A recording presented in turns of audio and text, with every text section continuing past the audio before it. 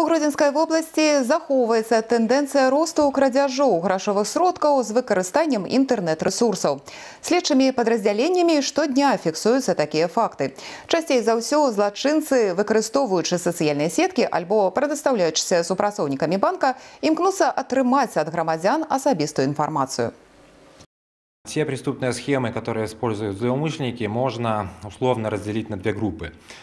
Первом случае, значит, злоумышленники под различными предлогами в сети интернет а, пытаются заполучить реквизиты банковских карт держателей, в том числе защитный код – это те три цифры с оборотной стороны карточки, и уже завладев данными реквизитами, а, злоумышленники инициируют в сети интернет расходные операции, таким образом похищая денежные средства. А, во втором случае а, злоумышленники используют социальные сети, такие как ВКонтакте, Одноклассники, некоторые другие.